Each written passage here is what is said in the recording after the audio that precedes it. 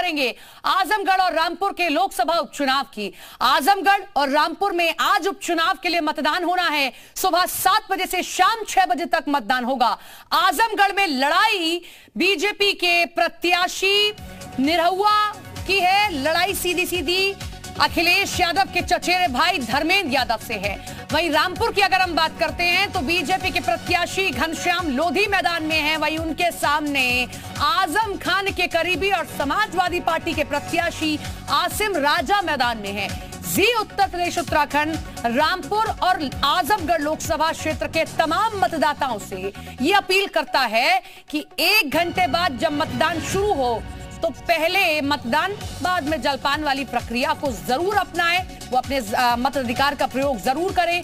स्वस्थ लोकतंत्र के लिए, आपके क्षेत्र के विकास के लिए, आपकी सहभागीदारी ज़रूरी है। इसीलिए अपनी ज़िम्मेदारी निभाएँ। और हम अपनी ज़िम्मेदारी निभाएँगे कि दिन भर आज आपको इस चुनाव से जुड़ी हर अपडेट देंगे।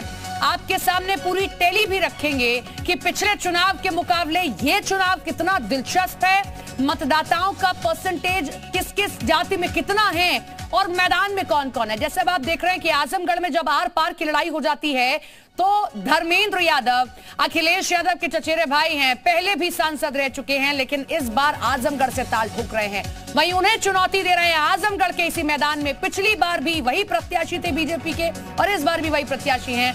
वो हैं दिनेश लाल यादव उर्फ़ निरहुआ, भोजपुरी सिंगर हैं, बीजेपी के नेता हैं। उनके लिए देखिए किस तरीके से जो वोट की अपील है, आखिरी दौर में प्रचार के सीएम योगी ने भी की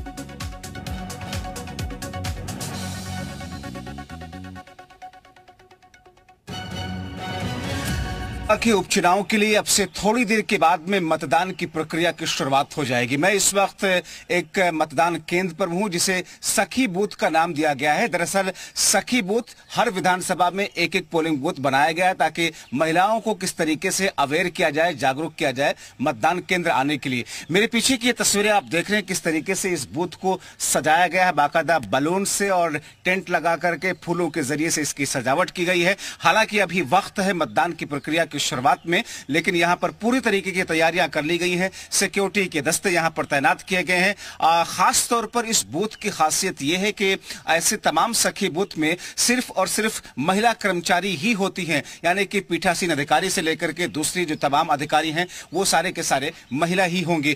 दरअसल लोकसभा के उपचुनाव को लेकर के भारतीय जनता पार्टी और समाजवादी पार्टी में इस बार यहाँ पर टक्कर देखने को मिल रही है। 2019 के लोकसभा चुनाव की बात करें तो उस वक्त समाजवादी पार्टी, आरएलडी और बीएसपी का गठबंधन था। करीब एक लाख से ज़्यादा वोटरों से आज़म खान को जीत मिली थी। मगर इस बार, इस चुनाव में बीजेपी और समाजवादी पार्टी आमने सामने है। बीएसपी और कांग्रेस ने अपने प्रत्याशी नहीं उतारे हैं और समाजवादी पार्टी का किसी पार्टी से गठबंधन नहीं है। अब देखना यह होगा कि इस पूरी प्रक्रिया के बाद में जब नतीजे आएँगे तो किसके पक्ष में जाएँगे? हालाँकि आज का दिन बहुत महत्वपूर्ण रहने वाला है।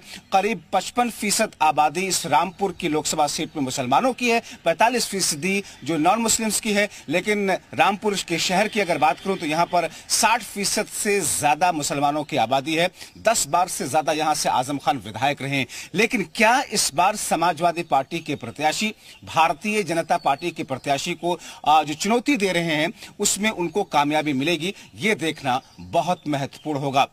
रामपुर से कैमरा पर्सन लेखराज के साथ जबार खान, जी मीडिया।